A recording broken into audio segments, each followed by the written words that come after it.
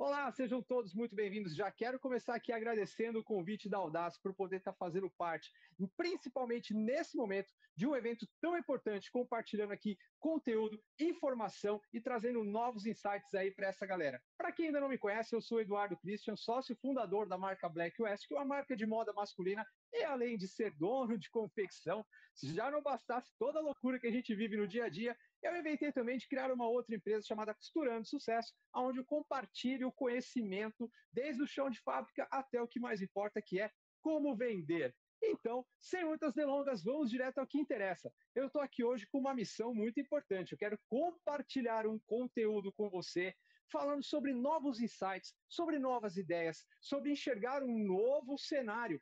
Porque é óbvio, né? Tudo aquilo que nós vínhamos fazendo, a gente tem que analisar qual era o resultado que eu tinha com aquilo. E se eu continuar fazendo mais disso, quais vão ser os resultados que eu vou continuar tendo? Então, aqui a minha missão aqui é trazer provocação, é trazer inspiração e deixar você mais motivado para você poder, ó, novas ideias, novos insights e novos resultados. E aí, vamos direto ao que interessa, que o que interessa aqui é conteúdo. E como o nosso tempo aqui é corrido, eu já vou começar aqui, ó, trazendo aí, ó, papel e caneta, porque, ó, anotem, vai ter muita dica aqui incrível para vocês. Então já começa aí, ó, anota tudo que eu vou colocar aqui para vocês, que vai ser muito bacana. No final de tudo, eu quero que você fale aí, Eduardo, cara, tive umas ideias incríveis. E se você falar que não teve nenhuma ideia, eu juro para você que eu faço outra aula até a gente descobrir alguma coisa que realmente faça diferença aí para você. Então, vamos começar aqui fazendo o seguinte. Cara, cria uma balança avaliativa. Como assim, Eduardo?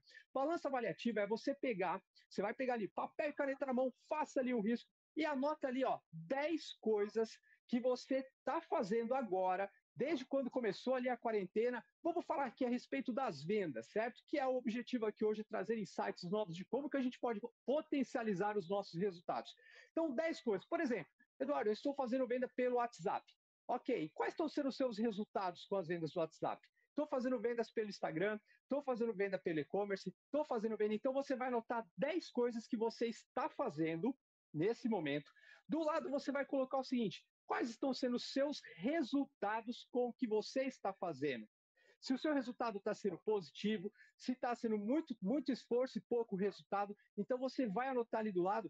Então, primeiro você coloca o que você está fazendo, aí você coloca ali quais estão sendo os seus resultados, e ali do lado você coloca como que eu posso melhorar o que eu estou fazendo agora. Mas até aí, falar do que você já faz é até fácil, de certa forma. Por quê? Porque você já está fazendo. E se você está fazendo uma coisa que o resultado não está sendo ali o que você gostaria que realmente fosse, existe aí maneiras da gente melhorar isso. E agora vem o mais interessante. Então você anotou ali, ó, 10 coisas que você está fazendo, quais estão sendo os seus resultados, como você pode melhorar. Até aí, ok. Agora vamos anotar o seguinte: marca ali para mim, em outra folha, 10 coisas que você não está fazendo. Agora começa a nossa eu vou chamar o quê? Não é uma palestra e não é uma aula. Então vamos chamar de aulestra, uma mistura de aula com palestra. Então agora começa aqui o nosso conteúdo para valer, que é justamente trazer 10 insights diferentes de coisas que talvez você ainda não esteja fazendo, e aí você vai somar o que eu vou te mostrar aqui agora com coisas que você já está fazendo. E no final de tudo, a gente vê como que tudo isso pode ser transformado em ações positivas para potencializar e melhorar os resultados das suas vendas e para que você possa se reinventar depois que isso tudo passar. Porque não é só a gente pensar no hoje, não é só a gente pensar no, ah, tá bom, mas agora eu preciso fazer alguma coisa. Não, cara, a gente precisava ter feito alguma coisa lá atrás. Tudo bem, na nossa correria, no nosso dia a dia, a gente já vinha fazendo e as coisas estavam acontecendo. Então agora é se reinventar, mas não só para hoje, é se reinventar para o amanhã, é se reinventar para sempre daqui para frente. E é esses insights que eu vou trazer aqui para você. Então, beleza? Você já anotou ali, né? Pegou a folha, primeira coisa, 10 coisas ali que você estava fazendo, quais estavam sendo os seus resultados e como você poderia melhorar tudo aquilo que você já vinha fazendo. Agora, então, vamos trazer insights diferentes. Então, vamos lá. Insight número 1. Um. O insight número 1 um que eu quero compartilhar com vocês é o seguinte: trazer aqui conceitos totalmente novos quando a gente fala sobre questão de venda. Cara, o que vai acontecer quando o mercado começar a voltar? Quando o mercado começar a voltar, a gente vai ter uma guerra de preço generalizada. Isso é fato. Muita gente com coleção parada, muitas pessoas precisando fazer caixa com baixo capital de giro e não sei o quê, então vai todo mundo entrar numa, vou falar assim, não falo nem que vai ser uma guerra de preço, porque até eu, eu, eu brinco com alguns empresários que eu falo assim, meu, vai ter gente que vai estar tá pagando para o cliente levar mercadoria porque vai dar tanto desconto, tanto desconto, tanto desconto, que não vai ter margem mais para o cara trabalhar. Eu já sei de muitas marcas que já estão assim, fazendo descontos aí de 30%, 40% em cima da coleção. Tudo bem, eu entendo que no momento as pessoas precisam realmente fazer alguma ação, só que você acha que realmente o desconto é um diferencial para que, o seu, que o cliente leve o seu produto? Será que essa é a única alternativa que a gente tem? Porque uma coisa é fato: uma vez barato, sempre barato. Então você vai colocar aí descontos, descontos e descontos. E se isso daí depois o cliente pegar e pegar essa mania de falar assim, não, mas lembra que, então, né, você me deu 30%, 40% naquela vez, e aí agora, né? Então, então, de novo, né, vou querer mais desconto, e aí como é que fica? Então, vamos colocar aqui algumas ideias diferentes para que a gente possa é, aproveitar esse momento, em vez de sair dando descontos, que a gente possa criar estratégias para que a gente possa converter o desconto numa coisa positiva e essa coisa positiva possa engajar os clientes e trazer novos clientes para nós. Sim, e é isso que eu vou ensinar para você o passo a passo de como fazer. Então vamos lá. Número um, você já ouviu falar em cashback? Sim, cashback que é o seguinte. Por exemplo, existe aí já algumas formas de cashback, por exemplo, Melios, que é um cartão de cashback, onde você faz as compras e você acumula ali percentuais de desconto que é revertido para você depois em dinheiro. Que tal você criar um cashback ali na sua confecção? Em vez de você dar 30% de desconto numa paulada só para o cara, você pode criar um cashback onde ele acumula ali um desconto que não vai ser dado. De repente, esse desconto já vai ser revertido em próprios produtos que ele possa estar tá comprando novamente de você. Porque nesse momento a gente precisa gerar uma coisa chamada recorrência. Eu preciso que esse cliente não compre de mim só agora, porque o que, o que vai trazer de novo o movimento na sua fábrica, o movimento na sua confecção é recorrência. Então não é fazer uma venda de uma vez só. Todas as ações, quando eu penso, eu penso sempre em criar ações para os meus clientes para que eles comprem esse mês, para que eles comprem o mês que vem ou daqui dois meses, mas que eles estejam constantemente comprando de mim. Então, uma das coisas que eu comecei a pensar, né? Falei assim, cara, que tal eu colocar aqui um cashback? Em vez de eu dar 30% de desconto, eu vou dar menos por menos desconto para ele até porque eu não costumo dar muito desconto, eu não sou muito fã de desconto, não.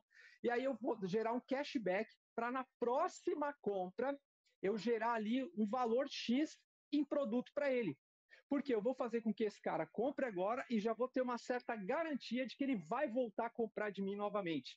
Então, se você começar a entender um pouco melhor sobre essas sacadas aí do cashback, você pode usar isso não só não só, tá? Ali dentro da sua confecção para fazer a venda para o lojista, mas também eu já sei até de algumas marcas que já entenderam a sacada do cashback. E o que, que eles estão fazendo? Eles fizeram ali um cartão da confecção dele, da marca dele, e aí, por exemplo, eu, eu Eduardo, vendo para o lojista, certo? E o lojista usa o cartão da confecção para dar para o varejo, varejo, que é o cliente final. E o cliente final que compra a marca dele lá ganha um bônus, ganha um desconto, ganha um prêmio X, que é o cartão do cashback. Então, se você começar a estudar um pouco melhor sobre essa questão aí do mercado de cashback, existem várias sacadas que você pode usar ali para que isso converta em recorrência para você gerar ali com que o cliente volte mais vezes a comprar de você. Até aí tá essa primeira dica aí, tá meio fraquinha ainda, né? Eu sei, cashback é legal, mas calma. Dica 2. Agora o negócio começa a ficar mais interessante. Qual que é a dica 2 que eu quero compartilhar aqui com vocês? Cara, a dica 2 é o seguinte: em vez de você dar ali 30 vezes por cento de desconto, ou você queimar muitas margens de desconto, porque entenda uma coisa: se a gente começa a queimar, é, dá muito desconto agora, não esquece uma coisa: preço não vai fazer a diferença no mercado nesse momento. Não importa o quanto você queira vender o seu produto barato, vai sempre ter alguém vendendo mais barato que você. E a outra questão é o seguinte: se a gente queimar toda a nossa gordura agora, como é que eu consigo repor isso depois? Lembrando que praticamente todos nós estamos com capital de giro, ó, bem baixinho agora. Entendeu? E aí depois, como é que eu faço para repor minha produção?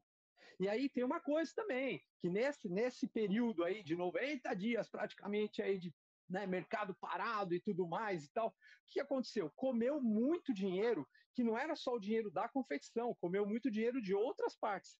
Então, muito cuidado, que eu vou bater muito nessa tecla aqui. Cuidado com o preço. Cuidado com o desconto. Então, vamos usar desconto de forma inteligente. E aí, a dica 2 aqui é o seguinte: vamos supor ali que você teria ali, ó, ah, mais ou menos, tá? Você tem 200 mil reais ali na sua coleção. Cara, 200 mil reais na sua coleção, vamos supor que você fosse dar 30% de desconto. O que eu falo na coleção é o que está no seu estoque, tá? Ok. Sei que 200 mil reais tem gente aí que tem 10, 20, 30, 50 milhões aí na, na coleção, né? Então, pensa uma coisa, cara. Quanto que seria 30% falando dos 200 mil reais? Cara, é 60 mil. 60 mil que você vai estar tá dando de desconto. O que, que daria para fazer com esse mesmo valor que você vai estar tá gerando de desconto? Você já parou para pensar nisso? Como é que a gente estaria utilizando este valor, esses 60 mil, de uma forma mais inteligente para que eu não precisasse dar desconto? Então eu anotei aqui algumas coisas para você. A primeira coisa que você tem que entender é o seguinte, cara, você faria uma ação para os seus clientes com 60 mil reais? Como assim, Eduardo? Por exemplo, imagine só se você fizesse ali um sorteio, um sorteio, tá? Que você gerasse o seguinte ali para o pessoal. Você falasse assim, olha, para os, para os primeiros 100 clientes que comprarem, eu vou estar tá dando 30, um sorteio de 30 mil reais em roupa. Cara, 30 mil reais em roupa é roupa pra caramba. Só que quanto que vai custar esses 30 mil reais em roupa para você? Você já parou para pensar nisso? Na verdade, ele vai te custar 15 ou até menos que 15. E não só isso, tá? Não só isso. Quando a gente fala assim, ó, eu vou sortear 30 mil reais em roupa para os 100 primeiros clientes que comprarem, o que, que eu preciso fazer nesse momento? Eu preciso gerar uma ação para trazer o cliente até mim. E aí, ó, os 100 primeiros clientes que vierem comprar, eu não vou estipular quem, só quem comprar acima de 5 mil, ou de 10 mil, ou de 50 mil, não. Eu deixaria livre. Ó, os primeiros 100 clientes que vierem, estou falando na venda do atacado, tá, gente? Venda do atacado, certo? Os primeiros 100 clientes que vierem comprar vão, vão concorrer a um sorteio de 30 mil reais em roupa. Um exemplo, pode ser menos, pode ser mais, e por aí vai. Se eu trago 100 primeiros clientes para a loja, ou não digo para a loja, a loja vai estar tá fechada, né? Se eu trago 100 primeiros clientes para poder comprar de mim nesse momento, eu vou ter que fazer um trabalho do quê? De conversão de venda, cara. O cliente que veio para comprar mil, eu vou fazer ele comprar cinco. O cliente que veio para comprar cinco, eu vou fazer ele comprar 10, 15. Porque aí é o trabalho do meu time comercial. Nesse momento, o que, que eu teria que gerar? Eu tenho que gerar uma tração para puxar esse cliente para mim. Para puxar esse cliente para mim. Então, você está conseguindo entender a lógica do negócio? Por que a lógica do negócio? Primeira coisa, em vez de eu pegar e já queimar todo 30% de desconto, cara, eu não vou queimar 30% de desconto. Eu posso gerar uma ação. Então eu dou 10% de desconto e ó, os 100 primeiros clientes vão concorrer a 30 mil reais em, em, em roupa.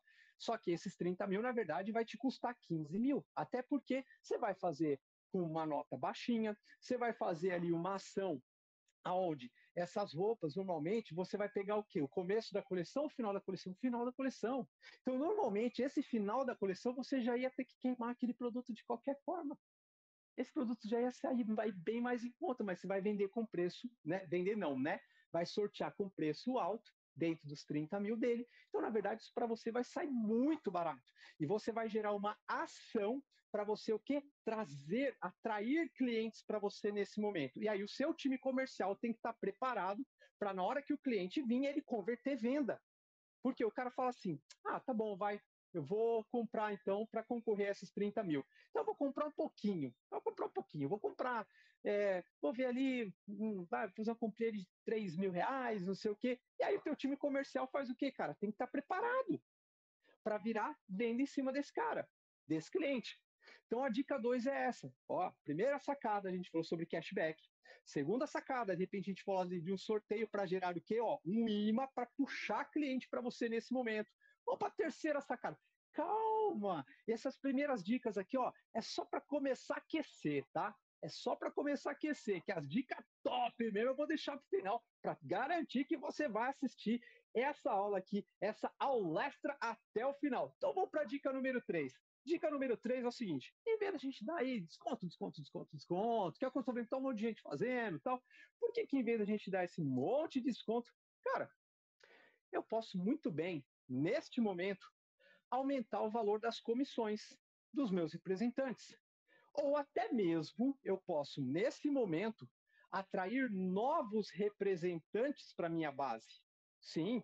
Então vamos supor que uma comissão de mercado hoje ela esteja variando aí entre um representante fixo, ele ganha entre 7 e 10%, um assessor, ele ganha uma média de 5%. Para quem não sabe o que é assessor, uns chamam de assessor, outros chamam de representante. O pessoal que tem loja atacado sabe bem o que é isso. Que é o pessoal que tem os clientes e leva os clientes até a loja, ou eles fazem as compras em nome dos clientes. Então tem dois tipos de representante quando a gente fala. Tem o representante que é o cara que pega a tua marca e ele leva até o lojista para vender. E tem o tipo de assessor, que esse assessor ele é muito normal aqui no mercado do Brás, no mercado de Goiânia, no mercado em Fortaleza. É muito normal ter os assessores, que é o cara que pega o cliente e leva o cliente até a sua loja. Esse é um tipo. Ou é o cara que tem muitos também, que é o cara que tem uma própria carteira de cliente, que é o assessor ou esse tipo de representante, e ele faz a compra em nome dos clientes. Então, quanto que esse cara ganha de comissão? Em média de 7 a 10%. Varia muito, certo? Nesse momento, em vez de eu ficar queimando desconto, eu posso muito bem criar uma ação com representantes para mim falar assim, cara, nesse momento é seguinte, eu vou pagar 5% a mais durante um período ou nessa coleção para que você te dá uma motivação, um incentivo aí, tal, não sei o quê, para você poder vender mais. Cara, assim, tecnicamente falando, é 50% a mais que o cara está acostumado a ganhar. Então isso, cara, vai trazer aí o cara vai vir com fome de querer, de querer vender de querer trazer cliente, não sei o quê. E não é só isso, calma, não é só isso, não. Se você virar, porque eu falo o seguinte, a venda, nesse momento, ela está muito. A gente está com medo de vender, né? Principalmente assim, vender com boleto, vender com cheque. Então, assim, a maioria está dando preferência em querer vender à vista, no cartão. Você tem que entender o seguinte: cada caso é um caso.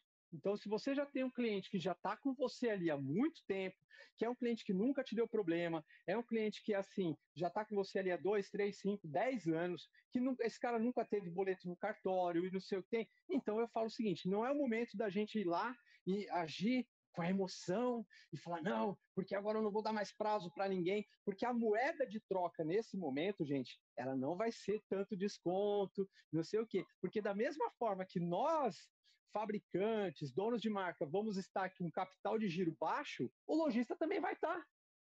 Então, assim, porra, o que, que adianta eu estar dando 70% de desconto se o cara, às vezes, também está sem grana para comprar? Então, eu prefiro trabalhar nesse momento com inteligência e eu trabalho ali uns prazos um pouco mais curto, tal, não sei o que, estou entendendo ali cliente por cliente e tudo mais. Por que eu estou te falando isso? Porque o representante vai trazer cliente. A gente vai, eu prefiro, em vez de dar 30% de desconto, eu dou 15%, dou 15% do representante, porque o representante vai trazer um monte de gente para vender para mim. Um monte de gente para vender, para comprar de mim nesse momento.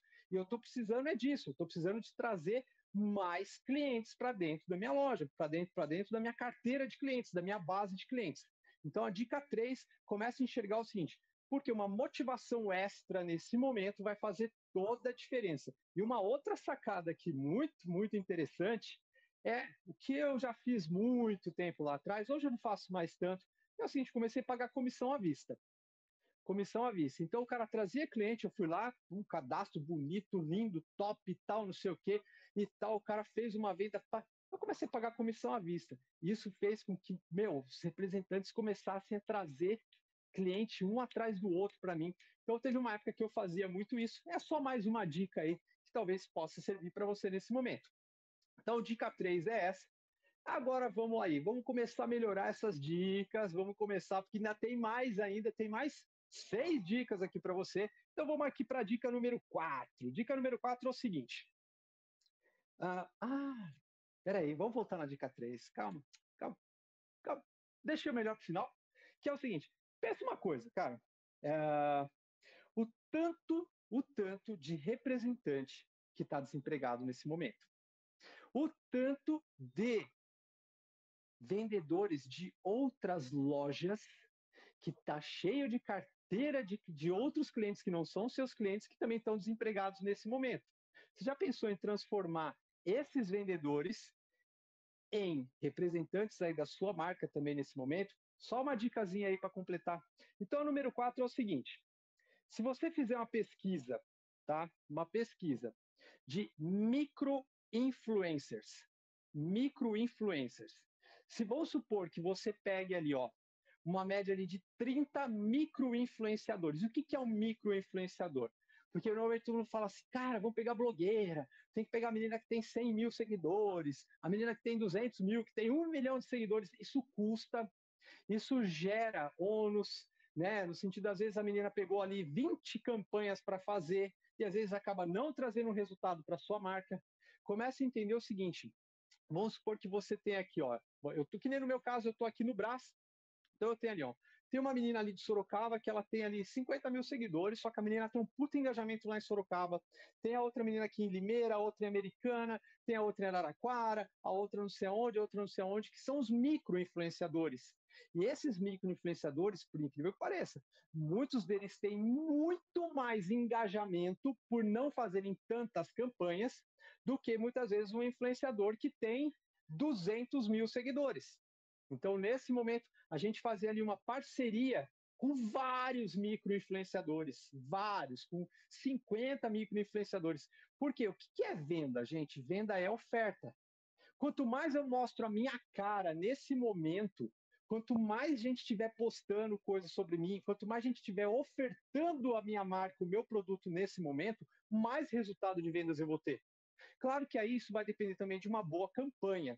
Não é só colocar ali um monte de gente para divulgar o seu produto. Você tem que ter uma boa campanha para atrair. Lembra que o foco é sempre ó, atrair clientes. Então, essa dica de você pegar micro-influenciadores nesse momento, que vai sair com um custo bem mais reduzido, muitos deles vão aceitar fazer permuta, que aí você pode dar em peça de roupa em vez de ter que dar dinheiro, certo? Aliás, a grande maioria vai fazer por permuta, que são os micro-influenciadores. Se bem que eu sei aí de uns grandes influenciadores aí, gente aí que tem meio milhão, é, um milhão de seguidores, que também está fazendo permuta por aí. Então, ó, o momento de fazer permuta agora, ó, tá? Tá legal.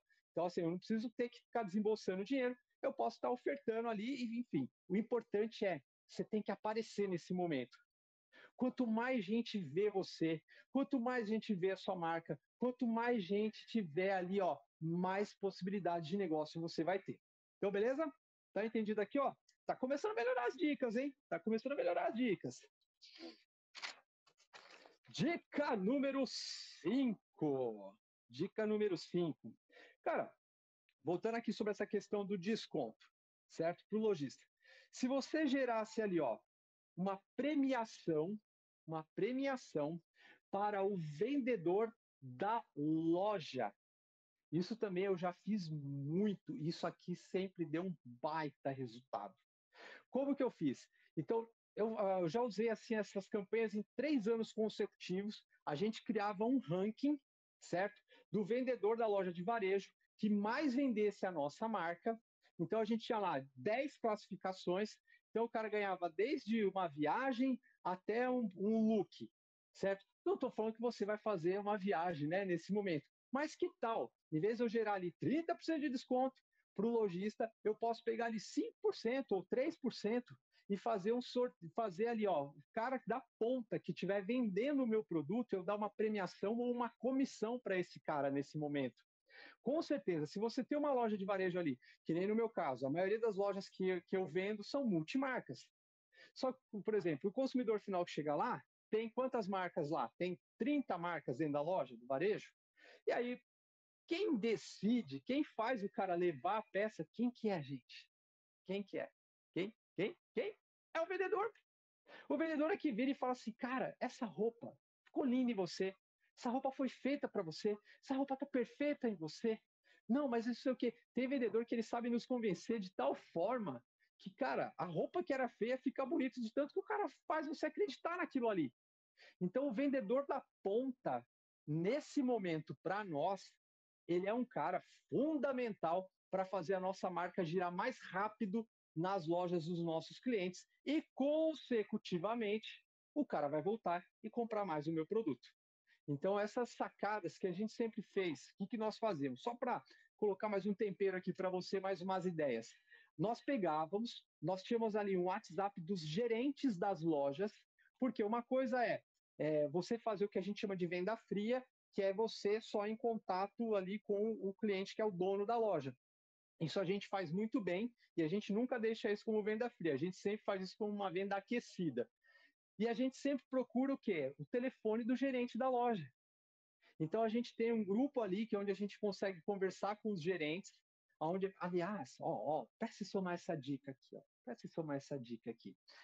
Antes da gente mandar as campanhas, tal, não sei o que tem, para os donos das lojas, para os compradores das lojas, a gente sempre manda para os gerentes primeiro. Por quê? Cara, o gerente é o cara que sabe. O gerente é o cara que sabe o que vende e o que não vende dentro da loja. O dono, claro, o dono ele tem a visão de dono, mas o dono normalmente, o dono de uma loja de varejo, o cara ele cuida do financeiro, ele cuida do marketing, ele administra a loja, ele cuida da compra, ele cuida de várias coisas. Só que o gerente é o cara que está no balcão no dia a dia, ele que está lidando com os vendedores, ele que está vendo os resultados. Então, assim, quando a gente entendeu isso daí, a gente começou sempre com foco, claro, no dono da loja, mas a gente também tem um foco especial ali no gerente, entendeu? Então a gente sempre manda primeiro as coisas para os gerentes, então a gente faz as promoções, a gente fala para os gerentes os lançamentos, né? Porra, isso aqui ó, é exclusivo, só tem tantas peças, cara, isso aqui é a cara da tua loja tal. Aí o gerente é o cara que vai na cabeça do dono da loja e fala assim: ô, oh, tô precisando da marca Black West aqui na minha loja, hein? porque, ó, meu, olha essa aqui, não sei o quê. E aí o dono, quando chega às vezes lá na loja para comprar, o cara já chega lá já fala, ó, eu quero isso, isso, isso. Cara, tipo, às vezes a gente nem tinha mandado para ele, a gente mandou pro gerente, e o gerente já, pelo engajamento que a gente cria com essa galera, o cara já toma praticamente a decisão de compra. Então, ó, pensa não só em atingir o dono, mas também em atingir ali, ó, o cara da ponta, hein? O cara da ponta, o gerente, o vendedor. Então, de repente, criar ali uma ação nesse momento, onde você possa ali, ó, atingir esse cara, ter um resultado, ó, vai lá em cima. E agora vamos ali para número. Cara, já estamos no número 6. É que as últimas agora são pesadonas, entendeu? São muito pesadas. Então, assim, ó, dica número 6. Vamos lá. Uh, cara, a gente está no momento que é, o maior engajamento está sendo em você criar ações com a sua marca. Né? Então, você criar ações justamente para você criar um engajamento, para você trazer mais pessoas ali para, serem fãs ali da sua marca, do seu produto. E não importa, cara. Eu falo assim, porra, às vezes tem cara que eu vou falar do cara fazer uma campanha, do cara fazer uma ação, aí o cara vira e fala, pô, eu não sou marca, então o que, que você é? Fabricante de roupa? Não, cara, você tem. Não importa se você fabrica 5 mil peças por mês ou se você faz um milhão de peças por mês. Você só vai ser uma marca se você tiver visão de, de ser uma marca. Entendeu? Eu tenho que. Eu olho para minha marca, quando minha marca começou, cara, tipo assim, pô, cara, a gente era 3 mil pecinhas por mês e não sei o quê, mas com aquele amor, com aquela paixão, a gente sempre tratou a nossa marca como se fosse uma grife sabe? Como se fosse uma marca, porque, porra, eu sou o primeiro cara que a falar da minha marca com a boca cheia, sabe? Não sei o quê. Então a gente tem que ter essa visão, cara. Então, criar campanhas e ações para sua marca ter fãs, criar campanhas e ações para gerar engajamento de cliente e tudo mais, isso faz toda a diferença, ainda mais nesse momento. Então vamos falar o seguinte: por exemplo, aqui, ó. Vou, citar aqui algumas coisas aqui é, que eu estava falando assim em termos de campanha. A primeira coisa, ah, tem um negócio de máscara agora, todo mundo vendendo máscara, todo mundo não sei o que de máscara. Cara, uma das coisas que eu já fiz, já estou fazendo lá, já já estou lá fazendo. Então, assim, a cada uma peça de roupa vendida, a gente está dando a máscara para quem?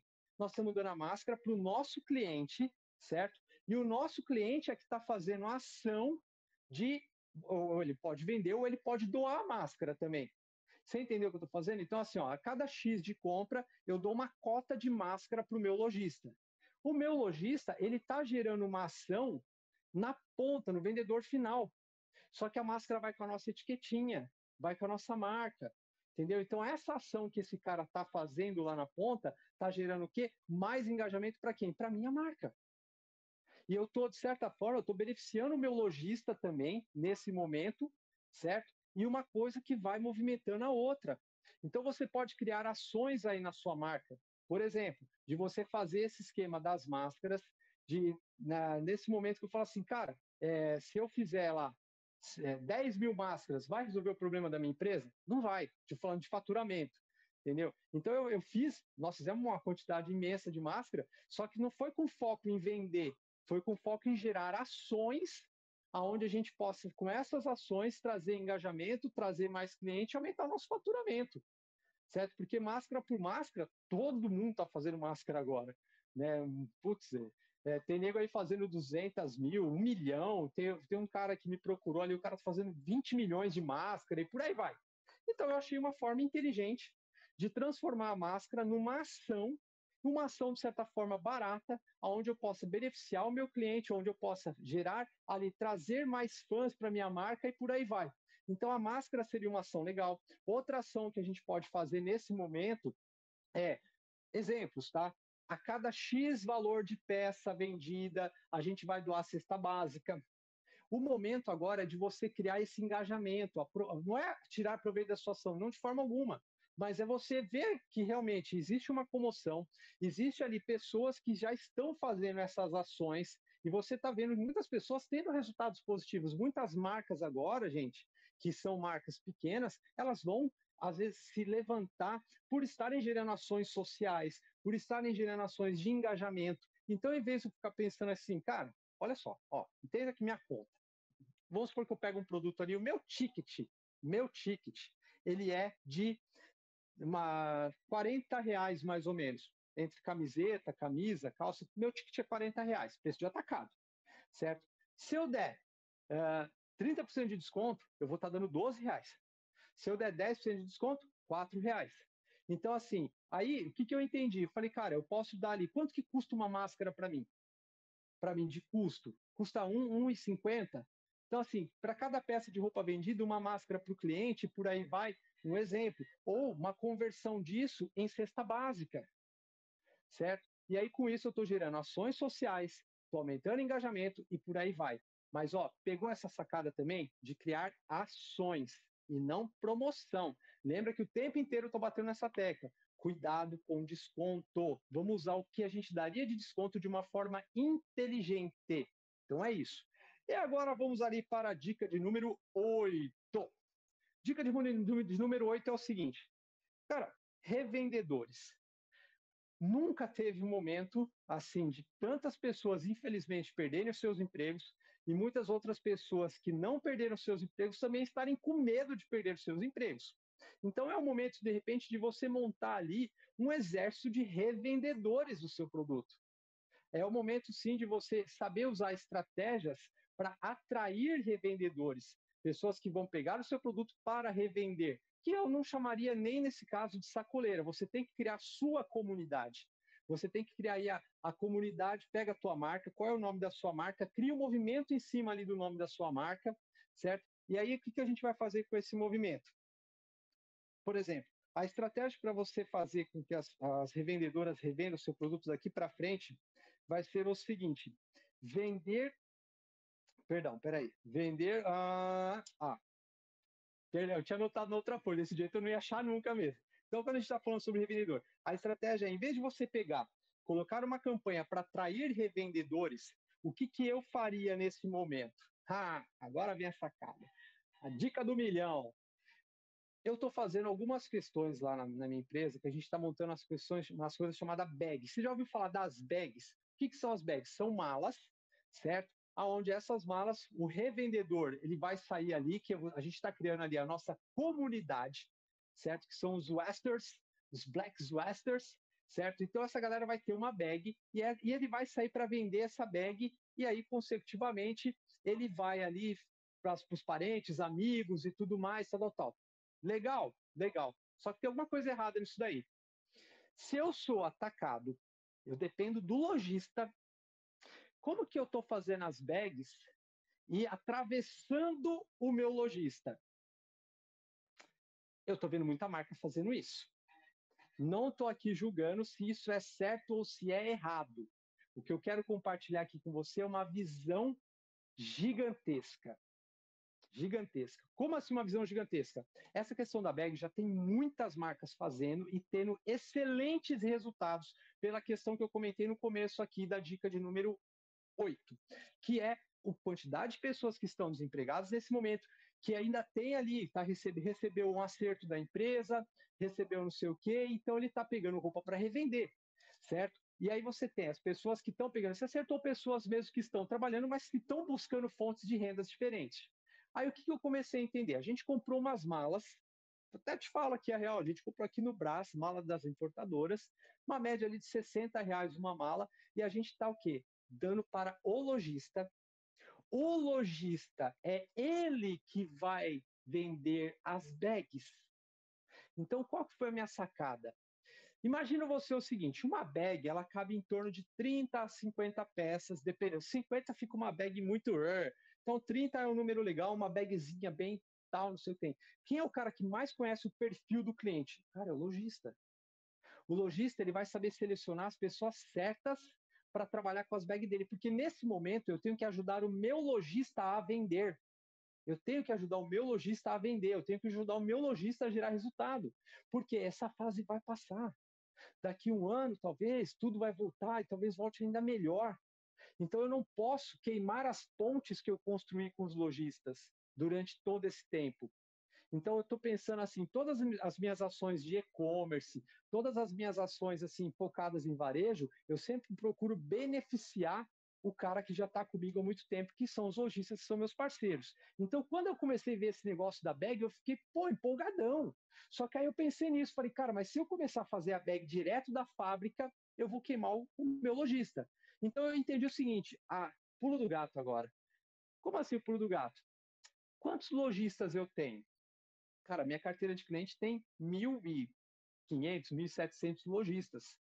Eu falei, cara, eu não quero bag para todos eles. Eu vou selecionar ali, do, de todos os meus lojistas, eu vou selecionar ali uma média ali de, que a gente fez uma projeção, 250 lojistas. Se a gente colocar 10 bags, 10 bags em 250 lojistas, certo? Vai dar quanto? 2.500 bags. Se eles venderem 30 peças por bag no mês, 30 pecinhas que vai estar dentro de cada bag, que aí o próprio lojista vai ter um monte de revendedor. Então o giro desse lojista também vai ser muito bom. Então esse lojista vai vender, esse lojista vai comprar de mim, ele vai reabastecer, ele vai vender, ele vai comprar e por aí vai. 250 lojistas, 10 bags cada um, dá 2.500 bags. Vezes 30 pecinhas de roupa por bag. Quanto que dá isso no final das contas? Você já parou para fazer essa dimensão aí? Talvez dá mais do que você consiga produzir. Talvez dá mais do que você tenha fabricado numa coleção inteira. Então a sacada muito tem a ver com isso. Então uma das coisas que a gente também ficou pensando foi nisso, falar assim, cara, em vez de a gente queimar ali, porra, descontão, descontão, descontão, é óbvio. Por que, que eu estou falando aqui? Um exemplo de 250 lojistas, você pode fazer com, com 30 lojistas da sua carteira de clientes e fazer com que esse seu lojista, que ele possa ter mais ferramentas para ele vender também. E nesse momento ele está precisando disso. Assim como nós, fabricantes, estamos precisando de apoio, de ajuda, a gente está buscando conhecimento, informação, se coloca na, na, na cadeira, na posição do lojista. E como que a gente pode fomentar e ajudar esse cara a vender mais nesse momento? É óbvio que a gente também está desesperado para vender, todo mundo está precisando de faturamento. Só que quanto mais eu faço esse cara vender, mais ele compra de mim. Consecutivamente, mais eu vendo, mais eu cresço, mais ele cresce. É um jogo de ganha-ganha. É hora de dividir para somar. Eu tenho que dividir para somar. E o que, que é dividir? Eu tenho que dividir conhecimento, eu tenho que dividir estratégia e eu tenho que dividir lucro também. Então, essa questão da bag sendo feita parceria direto com os meus lojistas, porque a gente pesquisou, nós fizemos uma pesquisa ali com mais ou menos 50 lojistas perguntando o que, que eles achavam da ideia das bags. Da gente dar as bags para eles personalizada, que eu te falei que o custo da bag é barato, é muito barato, Tá? Existe bags personalizadas e blá blá blá, que você puxa cabide. Aí você vai pagar quinhentão numa bag dessa. O problema é teu. Se tu tem essa grana para investir agora, parabéns, vá lá e faz. Eu optei em pegar um produto com custo baixo, custo-benefício. Coloquei um adesivão da minha marca lá, tal, o efeito vai ser o mesmo. Então, essa questão da bag, a gente fez a pesquisa com os lojistas. Cara, de 50, 40, pirou na ideia. Pirou na ideia. Porra, cara, se tiver, não sei o quê. Porque aí os próprios lojistas já falou o quê?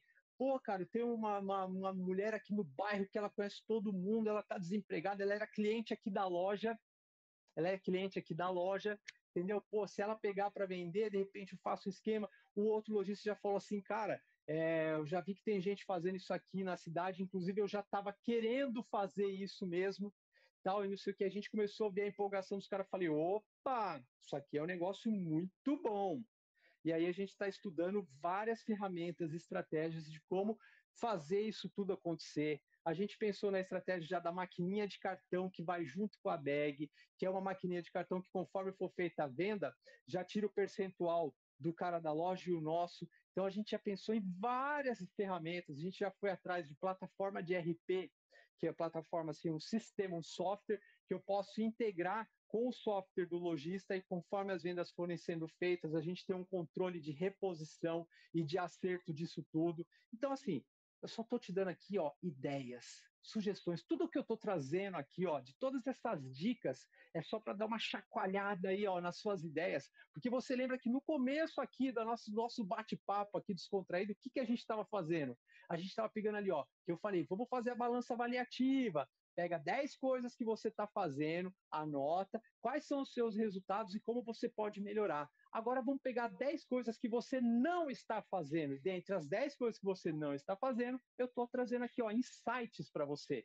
Então, tem coisas aqui que vão servir para você, tem coisas que não vão servir, mas faça do seu jeito. O importante é você criar coisas que você ainda não faz. E não é pensando só no agora, é a gente pensando, ó, pensando lá na frente. Não é falar assim, ah, eu vou fazer alguma coisa diferente só para esperar isso tudo passar. Não! Eu tenho que criar coisas diferentes para enxergar um mercado diferente, para enxergar novas possibilidades. E com isso, se tudo que você vinha fazendo você já tinha resultado, imagina somando coisas novas com o que você já vinha fazendo. Você vai somar duas vezes mais resultado. Então, gostou da ideia da bag? Calma, tem ideia melhor ainda. Claro que tem. Ao, vamos lá, tá chegando no final, sei que você vai ficar triste, chateado, você queria que eu desse mais 50 dicas para você, e quem disse que eu não vou dar mais 50? Isso numa outra aula, numa outra palestra. Mas vamos lá para a dica de número 9.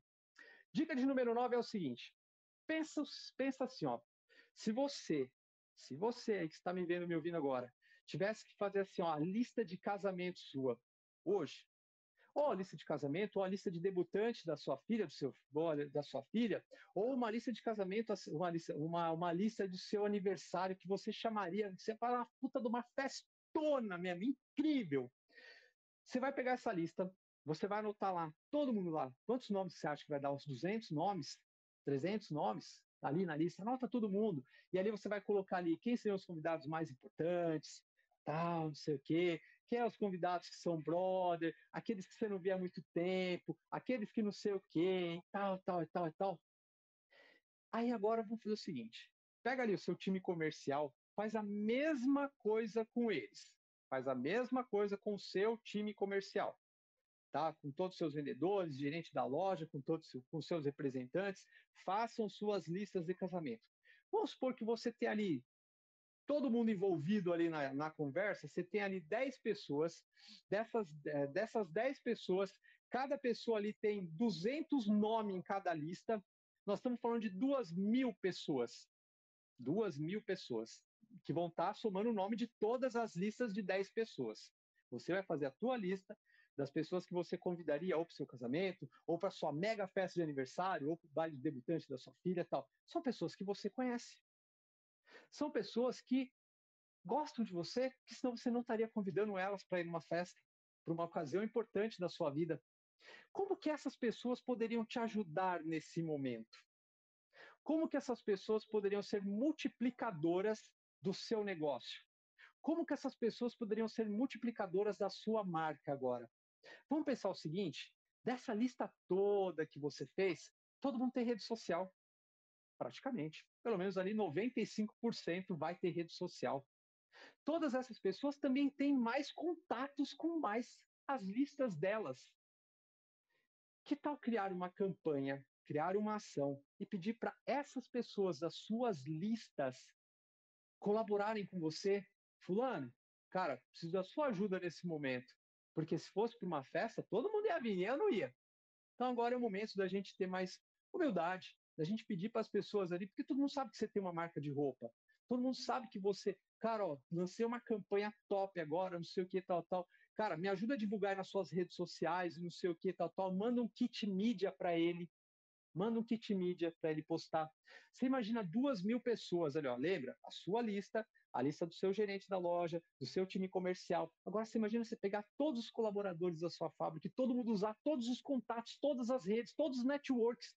Cara, você vai atingir um raio de quantas mil milhares de pessoas engajadas, engajadas, pessoas que seriam seguidores ali, pessoas, perfis reais, que vão estar tá conhecendo a sua marca, que vão estar tá gerando possíveis negócios com você. Porque lembra de uma coisa, quanto mais as pessoas verem você, o que, que é venda, gente? Venda é oferta. Tem muita gente que chega para mim e fala assim, Eduardo, eu não estou conseguindo vender. Eu falo, para quantos clientes você ofereceu? Ah, eu ofereci para minha carteira de cliente, então ofereça para outros clientes. E outra coisa, não é só oferecer, é para quantas pessoas você ofereceu e como você ofereceu. São as duas coisas importantes. Então, assim, a ausência de venda está relacionada ao seguinte, cara, para quantas pessoas eu ofereci isso? Eu sei que no momento todo mundo está assim, cara, o pessoal está segurando dinheiro, tá não sei o quê, tal, tal. Só que tem gente comprando. Tem gente comprando. Quantas peças você fabrica? Você não fabrica 200 milhões de peças. Quantas peças você precisa vender da sua coleção? Quantas peças tem na sua coleção? 100 mil peças? 50 mil peças? Então, para quantas pessoas você precisa vender? O que a gente tem que achar é a ferramenta e a estratégia certa para alcançar as pessoas, que é o ofertar. Tá? Então, essa dica que eu te dei da lista de casamento, ela serve em várias circunstâncias. Você pode criar uma campanha, certo? Para do caso, por mais que eu seja atacado, gente, por mais que eu seja atacado, eu estou ensinando isso para os meus lojistas. Eu estou ensinando isso para os meus lojistas. Quantos vendedores você tem na sua loja? Pô, tem, tem, tem lojista meu que ele tem 15 vendedores na loja. E os 15 vendedores estão tá onde? Em casa, parado. Eu fiz isso com, meu, com um lojista meu. Eu falei, cara, pega os teus 15 vendedores, fala, pede para eles fazer uma lista de casamento. Só, não explica o que, que é. Fala para ele o seguinte: se você fosse casar hoje, faça uma lista de casamento com todas as pessoas que você ia convidar, amigos, parentes, conhecidos, colegas, tal. Faz a lista. Beleza, cada um trouxe a sua lista. Então tinha cara ali que tinha 200 nomes, tinha cara que tinha 500 nomes na lista. Aí o que, que a gente fez? Você tem o WhatsApp de toda essa galera aqui? De todo mundo que está aqui nessa lista? Temos. Então agora é o seguinte, vamos montar um kit, vamos montar um kit e vocês vão oferecer esse kit para todo mundo que está na sua lista. As pessoas que estão na sua lista te conhecem, não conhecem? Conhece. Ela sabe que você trabalha com uma loja de roupa, não sabe? Sabe. Então o que, que você vai fazer? Você vai pedir para essas pessoas nesse momento te ajudarem a vender. E peça o seguinte: caso ele não possa comprar, para que ele possa indicar alguém para você nesse momento. A taxa de conversão de vendas nessa loja, ele vendeu mais agora no Dia das Mães do que ele tinha vendido no Natal. Então, o que eu estou te falando aqui dessa ferramenta poderosíssima de fazer a lista pode ser usado não só você, quanto você fabricante ali. De repente, é a ferramenta que você vai ensinar ali o teu lojista a fazer. E aí vem o detalhe: esse, esse cara ele não vendeu só o meu produto. Ele não vendeu só o meu produto, ele vendeu tudo que ele tinha na loja dele de todas as outras marcas. Aí vem a questão. Esse cara tinha prorrogação comigo. O que, que ele fez? Essa semana já passou lá e pagou que, tudo que ele me devia. Esse cara vai fazer reposição de outras coisas. E aí, quem que é o primeiro cara que está na lista dele? Sou eu. Lembra que eu falei aqui da, da regra? É hora de dividir para somar. Então eu não fui egoísta de pensar só no meu lado. falei, não, eu preciso ajudar os meus lojistas a vender nesse momento que nem eu falei da ideia das bags e tantas outras ideias que a gente está compartilhando aqui. Mas essa da lista de casamento é fantástica, porque ela serve não só para, de repente, você criar uma campanha pelo Instagram, pelo Facebook, redes sociais, onde você envolveria ali, ó, se você pega ali, ó, todos os seus colaboradores da sua fábrica, todo o seu time comercial, todos os seus parentes, todos os seus conhecidos e todos os conhecidos de todos os seus conhecidos, de todos, de todos, de todos, você imagina o movimento que você cria. Você imagina o tanto de pessoas. Então, é ter a campanha certa, que foi o que eu acabei de falar aqui. Ó. É ofertar para mais pessoas, mas ter a oferta matadora. Então, muitas vezes, a ausência de venda está justamente relacionado a pouca oferta, oferecer oferecer para poucas pessoas e não ter a oferta matadora, que é a oferta do convencer a pessoa. Por que, que eu deveria comprar nesse momento? Por que, que eu deveria comprar uma roupa sua nesse momento? Por que, que eu deveria comprar um blazer se eu estou trabalhando home office? Por que, que eu deveria comprar um vestido, no caso da mulher, se eu, se eu não estou tendo a festa para ir agora? Então a gente tem que ter oferta matadora. E muitas vezes essa oferta matadora está relacionado ao como você vai a, a, a ofertar esse produto, né? Que é o oferecer, tipo, uh, por que, que uma mulher compraria um vestido nesse momento para estar em casa? Pô, você pode vincular isso ao quê? A uma campanha, a uma campanha de, digamos assim, Dia dos Namorados, Tá chegando aí a próxima data comemorativa, Dia dos Namorados. Então, assim, ó, que tal você ficar linda e sensual para o seu boy, para o seu marido? No Dia dos Namorados. Olha esse vestido, olha isso aqui, e não sei o quê. Então, é onde eu falo da oferta matadora, está relacionada a isso. Então, essa foi a dica de número 9. E agora, para encerrar com chave de ouro, sempre tem que ter, né? Para encerrar com chave de ouro aqui, esse momento que nós estamos passando, a gente tem que ser o quê? Mais criativo e colaborativo. E falando em colaborativo, a dica para fechar aqui das nossas 10 dicas, que tal fazer collab nesse momento? Como assim collab, Eduardo? Particularmente, eu estou fazendo collab com outras marcas. Então, o que, que eu fiz? Cara, eu peguei uma marca de um cara que fabrica sapato, e esse cara tem uma carteira de clientes fodástica, e eu fiz uma parceria com ele. Então, o que, que nós fizemos? Somamos carteiras de cliente nesse momento. Esse cara da carteira, virou, da, perdão, da carteira do sapato, virou e falou assim: cara, tem um outro parceiro meu que ele faz carteira, cintos e acessórios. Nós chamamos esse cara também, que tinha uma outra carteira de clientes totalmente diferente da nossa. E o que, que nós começamos a fazer? Que começamos a criar os kits juntos. Então é a, é a roupa já com sapato, com cinto, com acessório e nós começamos a criar as campanhas, certo? De divulgação. Então, o que, que nós fizemos? Cara, nós somamos clientes, clientes em comum, e não, perdão, clientes que não eram em comum, certo? Porque eu tenho uma carteira de cliente X, ele tem uma carteira de cliente Y, o outro tem uma carteira de cliente tal. Essa troca de clientes está trazendo muito retorno para nós. E não só isso, a gente dividiu o quê? Custos. Então, por exemplo, a gente já está preparando uma campanha agora para o Dia dos Namorados, certo? Então, todo esse custo de produção, de não sei o quê, foi compartilhado. Porque as fotos, as coisas, tal, não sei o quê, vai ser tudo dividido. E aí a gente vai fazer o quê? Todo impulsionamento, tudo isso, tudo aquilo vai ser dividido. Então, comece a enxergar quem são aí as fábricas, outras marcas que você poderia estar tá fazendo uma collab nesse momento para formar os kits dos Dias dos Namorados, para vocês trocarem aí custo de produção, para vocês fazerem aí nesse momento uma troca de clientes, certo? Porque você tem a roupa, de repente você tem ali a, a mulher que tem a loja do sapato, do acessório e não sei o quê. Então é um momento de collab, gente. Porque é, não está difícil só para nós, está difícil para todos. Então é um momento, sim. Se estivesse bem para todo mundo, tá todo mundo rachando de vender, tá todo mundo fazendo, acontecendo, e não sei o quê, tal, tal, tal. Talvez você fosse encontrar pessoas ali que não, não me interessa, tal. Ou você talvez não interessaria em fazer, você está vendendo, está faturando, tal. Mas será que nesse momento a gente não pode enxergar aí, ó, novas ideias, novos mercados? E o tanto que isso vai ser visto com bons olhos pelo consumidor final também. Então a dica da collab, gente, ela é muito importante certo? Para você entender, enxergar até novos mercados, enxergar novas possibilidades. E a collab não serve só ali para você fazer com marca de marca X, marca Y, não. Cara, eu sei de pessoas que estão fazendo collabs com youtubers, eu sei pessoas que estão fazendo collabs agora, nesse momento agora, de quarentena. Eu sei pessoas que estão fazendo collab em lives.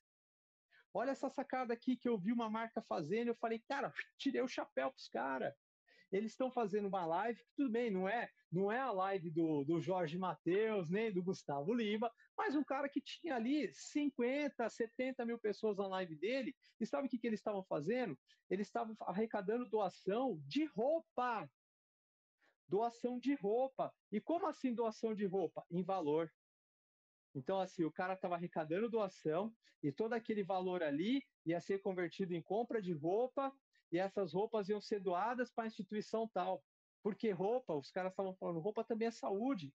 Porque a roupa mantém a pessoa aquecida. E a pessoa aquecida não vai ficar doente. E a pessoa não ficando doente, ela não está debilitada, ela também não está é, enchendo o hospital com mais casos de outras doenças, mesmo que seja uma gripe, uma pneumonia, outras coisas. Então, eles tiveram uma sacada genial. Então, é o momento de você enxergar novas possibilidades, enxergar um mundo novo, enxergar e fazer coisas que você não fazia antes. Porque antes nós não fazíamos por falta de quê? Tempo. É muito engraçado que eu, para encerrar aqui é, o nosso bate-papo, te pergunto uma coisa: como é que estavam suas vendas antes do coronavírus? Como é que estava o seu capital de giro antes do coronavírus? Como é que estava a sua produção antes do coronavírus? Como é que estava a sua equipe, o engajamento com a sua equipe e tudo mais antes do coronavírus? Se a resposta for, estava mais ou menos, estava ruim, estava isso, talvez uma coisa estivesse boa, outra nem tanto. Entenda uma coisa, o problema já estava lá. Quando pessoas chegam para mim e falam, cara, eu tô com muito problema na venda, cara, pelo amor de Deus, eu tô tal. Eu pergunto para ele o seguinte, como é que estava antes do coronavírus? Estava bom ou estava mais ou menos? Porra, já estava mais ou menos. Então já existiu problema lá atrás. Já existiu problema lá atrás. Como é que tava? Porra, tô precisando, cara, tô desesperado, tô precisando de capital de giro, eu não tenho. Como é, como é que estava o teu capital de giro antes do coronavírus? Você estava com dinheiro sobrando ou estava sempre ali no limite apertado? Cara, eu estava no limite apertado, então você já estava com problema antes. O problema não surgiu agora. Então vamos enxergar o lado bom disso tudo. O que, que é o lado bom? Cara, vamos ter que se reinventar. Porque a gente já estava com problema. A gente só está agora tendo o tempo necessário para ver o problema e dar atenção para ele. Só entenda uma coisa: se você não fizer nada de diferente, e vamos supor que daqui dois meses as coisas voltem ao normal, volta a ser como era antes. O como era antes tinha problema e a gente não tinha tempo para resolver. Então agora é o momento de encontrar tempo e não só isso. Se você fizer as mesmas coisas que você fazia antes, você vai ter os mesmos resultados que você tinha antes. Aí fala assim, eu era feliz com o que eu tinha e não sabia. Não, você podia ser muito melhor. Então entenda que hoje você está tendo a oportunidade de fazer tudo diferente, de ter resultados diferentes, de ter uma empresa diferente, de ter uma vida diferente. E é isso que eu desejo para você. Espero que vocês tenham gostado desse nosso bate-papo. Se você ainda não me segue no Instagram, vai lá, Eduardo Christian Original. E foi um imenso prazer, Audaces. Sabe que assim, além de cliente, amigo, parceiro, amo vocês. E sempre que precisarem de mim, estarei aqui disposto. Super beijo para vocês. Vejo vocês numa próxima, hein? Tchau! Olá, Eduardo! E aí? Tudo bem? Oi!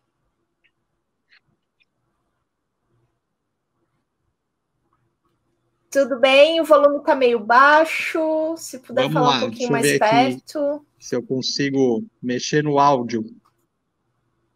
Tá melhor agora? Agora fechou. Agora tá perfeito. Tá perfeito agora. Tudo sempre Tudo bem bem. com você, Eduardo? Eduardo, a galera adorou ah, a sua, a sua palestra, deu para notar aqui, né? Eu acho que você viu aqui nos comentários que o pessoal realmente ficou muito empolgado com o conteúdo. E eu queria. Tem algumas perguntas que foram feitas que eu já quero te passar, porque eu acho que são perguntas bem interessantes. Deixa eu só abrir aqui as perguntas que eu separei. Deixa eu pegar aqui. Ah, sobre é, quando você estava falando dos sorteios na tua palestra, a Priscila perguntou se esses tipos de sorteio não prevêem criar regulamentos ou até termo contratual entre o cliente e o revendedor. Ela, ela perguntou se você podia falar um pouquinho sobre isso. Sim. É, a primeira dica que eu dou é o seguinte: quando você vai fazer essa questão do sorteio, porque lembra que eu falei assim, de uma forma bem genérica, falando sobre sorteios, mas você tem que analisar o seguinte: se for envolvendo valores, aí você tem que ver realmente com o seu departamento jurídico pesquisa na internet, isso é super tranquilo, não é um bicho de sete cabeças. Se é uma campanha que ela envolve valor financeiro, é uma coisa. Depende do tipo de premiação que você vai colocar, certo? Se você vai. Depende a ori, é, o destinamento disso. Mas é uma coisa que eu te falo, é super tranquilo de fazer, não é um bicho de sete cabeças, tá? Tanto que essa questão de sorteio, ela está crescendo demais, principalmente nesse momento agora. Pessoal tem, faz, é, tem realizado muito sorteio, até mesmo para captação de leads, até mesmo para captação de novos clientes e assim por diante. Então, é só você analisar qual é o tipo de, de vamos falar assim, o que, que você vai colocar em sorteio. Se é produto, se é valor, se é serviço. Para cada um desses três existe uma regulamentação, mas na internet você encontra tudo isso disponível e é só você ir lá e se adequar à forma de fazer, mas é bem tranquilo. Fechou, legal. E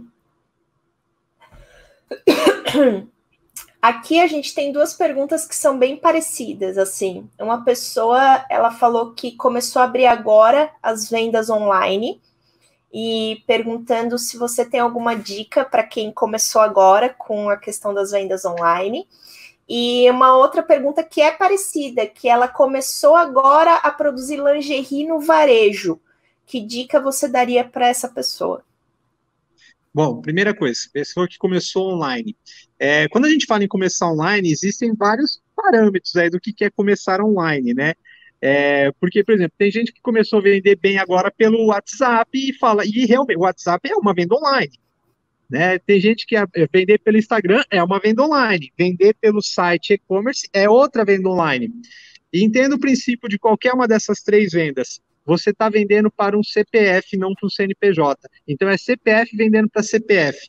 É sempre ter uma pessoa ali para responder, é sempre você ter ali, estar presente. Eu sempre indico às pessoas, cara, não automatiza, porque o tipo de produto que nós vendemos é um produto que envolve ali a emoção e o sentimento, certo? Então a pessoa mandou a mensagem ali que ela quer comprar o seu produto, a sua roupa, é, você tem que ter pessoas ali para responder o quanto antes aquilo que eu falei sobre quem não é visto não é lembrado, tá? Que é aquele tal negócio. Ah, eu comecei a fazer venda online, mas não tenho resultado. Então é você ter a oferta certa com que assim, as estratégias de marketing digital, né? É a copy certa, que copy é qual é a história que você está contando sobre aquilo que você está oferecendo, para quantas pessoas você está oferecendo. Então a primeira dica falando sobre o universo online é esse. Então assim é entender que o online ele se divide em várias etapas diferentes. Né? Então, pode ser marketplace, pode ser e-commerce, pode ser é, redes sociais, Instagram, Facebook, WhatsApp, tudo isso é venda online. Né? Então, você tem que saber qual é o, o que você está conseguindo ter conversão, o como você está convertendo isso, saber que o importante, princípio de tudo, é você sempre ter, do outro lado, sempre, não existe um outro online, do outro lado existe uma pessoa. Então, é sempre tratar o outro como realmente você gostaria de ser tratado, é, você fazer a propaganda certa, o anúncio certo, que aí eu acredito que todo mundo que está seguindo essa receita agora está tendo um resultado relativamente positivo. E só lembrando que quando a gente fala de online, o online não veio para substituir o físico, ele veio para somar com o físico, não para substituir, porque ele sempre esteve aí. E falando sobre a questão da pessoa que começou agora com a questão do trabalhando no lingerie com o varejo, é, o que eu vejo é o seguinte: é, qual é o mercado que você está atuando? Porque o mercado do lingerie, ele funciona muito bem com as sacoleiras, sempre funcionou muito bem com as sacoleiras, né, esse mercado, especificamente, quando você olha é, o pessoal de Friburgo, o pessoal de Juruáia, o pessoal de Ilhota, tal, eles sempre trabalharam muito forte com essa galera, né, então agora você cai para uma venda de varejo, tá, então o que eu falo é o seguinte, é, analisa uh, qual é a conversão que você está tendo para fazer uma força de venda para atender o varejo, se de repente uma campanha mais direcionada para revendedora nesse momento não ia te dar muito mais resultado em faturamento. Então, o que eu quero dizer? Pô, eu vou vender uh, duas mil peças para o varejo nesse momento. Quanto que eu vou investir de ação de marketing? Quanto que eu vou investir disso, tal, tal, tal? E aí eu faço a mesma conta, seguinte, se eu tivesse que atingir 500 sacoleiras com a mesma verba. Eu só mudaria a comunicação, eu só mudaria a estratégia. E 500 sacoleiras ia me dar um resultado muito maior do que duas mil vendas de varejo direto. Uhum. Você entende? Então, eu, eu buscaria sempre ter essa análise. Eu não estou dizendo não faça. Claro que você tem que fazer, porque nesse momento venda é venda. Só que aonde você investir tempo e dinheiro é onde está o seu retorno. Então eu sempre faço essa análise. O mercado de lingerie ele funciona muito bem com a venda das revendedoras, certo? No momento onde você tem as lojas físicas fechadas, elas podem te fazer a diferença. A gente tem aí, ó, Dia dos Namorados, pessoal, não sei qual é a linha de lingerie que ela trabalha, se é uma linha sensual ou não, mas eu, eu analisaria esse momento focando uma campanha para o Dia dos Namorados, aí eu conseguiria abraçar, atacar a é, sacoleira, revendedora e o varejo, certo? Mas eu teria um foco maior em ter mais pessoas revendendo o meu produto nesse momento. Legal, show de bola. É... Aqui uma pergunta que eu achei bem interessante, que tem a ver com o collab que você falou. Tem um comentário sobre collab e uma pergunta. Uh, o comentário Deixa eu achar aqui. Aqui, ó, Cibiavari, Cebavari. uh, minha marca criou um site collab para dar oportunidade de outras empresárias terem seus negócios conhecidos e assim ganhei clientes e pude retribuir com clientes a elas também. Muito bacana, né, né Eduardo? E a outra pergunta que tem a ver com collab é o seguinte: um, ela, deixa eu só achar aqui. Hum... Hoje, gente, é tanto comentário. Quando três amigas que produzem roupas, mas possuem diferentes nichos de clientes, você acha que é possível fazer uma ação em conjunto? Totalmente. Totalmente. Porque é a mesma coisa quando eu falo assim, ó, uh, eu faço, vamos supor, uma collab com pessoas que têm nicho de produto bem diferentes do meu. Isso aumenta a minha probabilidade de novos negócios. Tá? Por mais que eu fale assim, pô, minha linha casual, eu faço uma parceria com o cara da linha streetwear. Normalmente o cara da linha streetwear, eventualmente, ele vai precisar de uma roupa casual também. Né? Então, assim, você, se eu fosse fazer uma parceria com marcas que tem exatamente o mesmo avatar que o meu e tal, não sei o que tem, isso também eu enxergo de uma forma positiva, só que eu acho que a minha conversão seria menor, até porque a gente já está disputando o mesmo cliente naquele momento. Agora, se eu tenho ali marcas que têm perfis diferentes, eu com certeza eu consigo ter uma alavancagem de negócio maior. Porque é a mesma coisa, eu sou um cara mais minimalista, mais tal, casual, só que, meu, tipo, por exemplo, ah, é, eu saio para Saio não, né? Hoje em dia eu tô ficando ou é em casa ou é na fábrica. Então, falo assim, tem horas que eu quero estar tá de camisetão, um moletom, tal, não sei o que tem. Tem hora que eu sou obrigado a estar tá social, tem hora que eu sou obrigado a estar tá com uma roupa X e por aí vai. Então, eu, eu analiso essa collab aí com marcas com, com avatares diferentes de uma forma bem positiva. Até uhum. mesmo porque te abre possibilidades de novos negócios. Sim, e uma pessoa tá, tá fazendo uma pergunta que eu acho que a gente pode até aumentar a amplitude dessa pergunta, né? Ela falou o seguinte, a Josie. Ela falou que ela faz roupas para um público mais evangélico e ela quer saber se ela se é possível estender para outro público.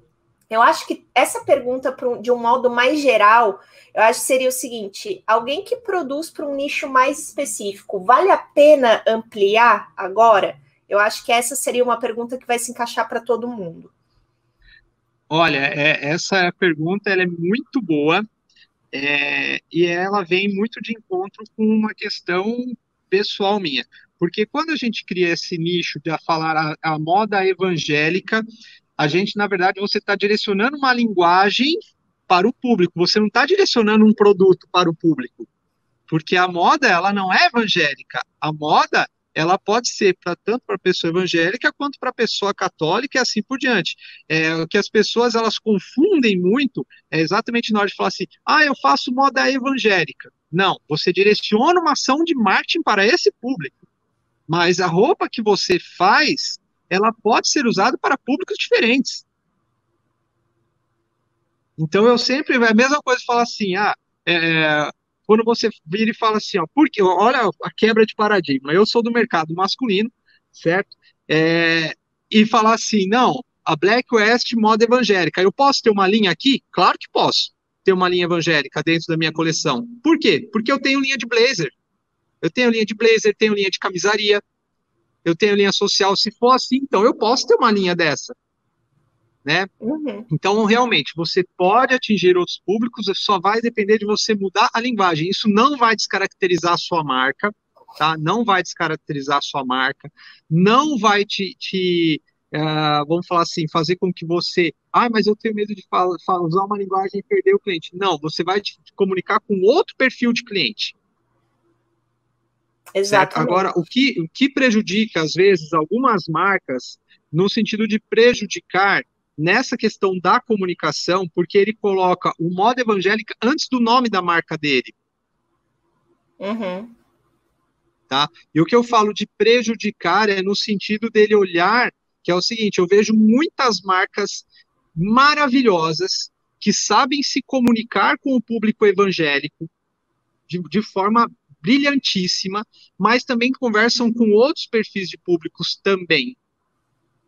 Uhum. E nem por isso ela perdeu a raiz dela de ser moda evangélica. Sim.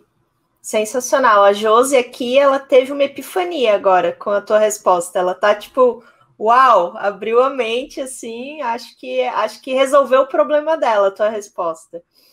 Um, uma pessoa, não sei se não sei se é muito a tua praia essa pergunta, mas eu vou te perguntar mesmo assim. Eu imagino que você vai, vai ter alguma, algum insight para ela. É, meu site ficou pronto há um mês e eu gostaria de saber a melhor maneira de divulgação para impulsioná-lo, ou se necessariamente eu preciso contratar uma agência. Bom, é até muito legal essa pergunta. Eu acho que vai servir para muitas pessoas que estão aqui, porque muitos estão correndo atrás de fazer site agora, está correndo atrás de. Cara, na verdade, a gente já devia ter feito isso lá atrás. Ok, vamos enxergar a realidade. O momento é isso. Agora eu tenho o site, eu preciso divulgar o site. Se você pegar agora, é, você vai contratar uma agência para fazer um direcionamento, para fazer impulsionamento e não sei o que tem, é gasto em cima de gasto. Eu já te falo a real. Isso vai te tomar tempo e um investimento gigantesco. Aí o que, que eu analiso? Qual é o retorno que eu vou ter fazendo todo esse investimento, porque o site ele vai ter aquele momento seguinte, é, ele é ferramenta de venda, ele é ferramenta, ele não é, ah, como é que eu diria assim, nesse momento no site, pô, você acabou de inaugurar uma loja no momento da pandemia, não tem gente passando na rua, eu acho que o melhor exemplo que eu posso dar é esse, não tem gente passando na rua, como é que as pessoas vão ficar sabendo da sua loja? Aí vem, a, vem o X da questão. É, eu fiz aqui o comentário falando para você aqui sobre a, a gente fazer a listinha de casamento, certo? Então, o teu site, nesse momento, isso serve para todos que estão aqui me vendo, ele é a sua loja. Então, eu tenho que trazer pessoas para dentro da loja. Então, uma ferramenta que eu posso usar nesse momento é a lista de casamento. Aí você vai usar redes sociais, você vai usar é, blogueiras, você vai usar é, esse pessoal para divulgar o teu produto. Aonde que eu compro esse produto? Dentro do site que é a loja. Uhum. Dentro do site que é a loja. Então, assim, na verdade, você não tem que divulgar o site em si. Entenda, você não é um Privalha, você não é a Dafit. A Dafit e a Privalha, eles, têm, eles são obrigados a divulgar a, o site. O Nós site. divulgamos um produto que eu chamo de produto isca, a gente, a gente divulga a isca para puxar as pessoas para dentro da loja, e aí quando ela chega dentro da loja, ela vê aquele monte de produto. É como você ter a loja física, e aí na sua loja física você tem aquela peça da vitrine. A pessoa ela vê a peça da vitrine e entra dentro da sua loja, ou ela vê aquela peça promocional. Ó, eu tenho aqui um kit maravilhoso por R$ 99,90, que é esse conjunto de peça aqui. A pessoa entra por causa do preço. Então você não tem que divulgar o site em si, você vai divulgar uma ação para gerar uma isca para trazer as pessoas para dentro da sua loja. Então a minha dica seria essa. Talvez você fazer um investimento agora numa agência para criar uma campanha, é gasto em cima de gasto, e isso leva um tempo de construção. Eu te falo por experiência própria e não por experiência só minha, mas de vários vários alunos meus de mentoria que passaram pela mesma questão E aí eu, a gente foi aprendendo juntos o como construir isso. Então eu estou compartilhando um conhecimento aqui, ó, que foi muito dinheiro investido de forma errada para eu poder te dar essa resposta. É, com certeza, né? Porque cada, cada dica que você tem do que dá certo é muita coisa que deu errado antes, né? Sim. uh, tem aqui o, o Lucinaldo, ele está perguntando sobre moda praia. Ele falou: trabalho com moda praia. Se as pessoas não estão comprando muita roupa, imagina a roupa de banho. Essas dicas se aplicam igual? Olha, eu falo que é o seguinte: você faz a moda praia, você está acostumado com uma sazonalidade diferente de mercado. Então, é, é, é, é assim, o cara que ele já entra para esse tipo de mercado específico, eu te falo até porque é, o meu vizinho de parede aqui, ó, meu vizinho de parede, parede, aquela parede ali da minha sala é a Líquido, né, meu vizinho de parede. A Líquido é uma grande marca de moda praia. Eu converso sempre com, com os donos, né? A gente é vizinho de parede, a gente se encontra ali para tomar café e bater papo. De vez em quando, quando a padaria estava aberta, a gente sempre tomava café na padaria. Então você está no mercado de extrema sazonalidade, então você já entra sabendo disso. Então é óbvio, a gente entrou agora na questão do inverno. Então, assim, o que, que eles fazem? Eles, eles têm linha de produto que não é a moda praia, é uma, tipo, uma moda fitness, é uma moda diferente, assim, para essa temporada, para suprir essa necessidade, né? Mas as dicas são as mesmas, as mesmas estratégias servem. É você ter o produto certo na hora certa. Show de bola. E a Célia está falando aqui que acabou de propor uma collab com uma youtuber e a princípio ela gostou. Gratidão. Já, uh, já foi, já já pegou a dica, já aplicou, já vai dar resultado. Sensacional. Bom, eu acho que de perguntas são essas. Eu quero dizer, Eduardo, muito obrigada. Obrigada pela tua disponibilidade, obrigada pela riqueza do conteúdo que você entregou para gente, porque definitivamente foi um conteúdo muito rico e que vai agregar um conteúdo prático e as pessoas estão precisando de dicas práticas agora, né? Você sabe disso. Sim. Quero te agradecer também pela tua disponibilidade de vir aqui responder as perguntas. Pessoal, estou postando aqui, deixa eu já adicionar uh, o Instagram do Eduardo. Eduardo Christian, original, né? Isso. Eduardo Christian Original, sigam ele lá, o conteúdo dele realmente vale muito a pena.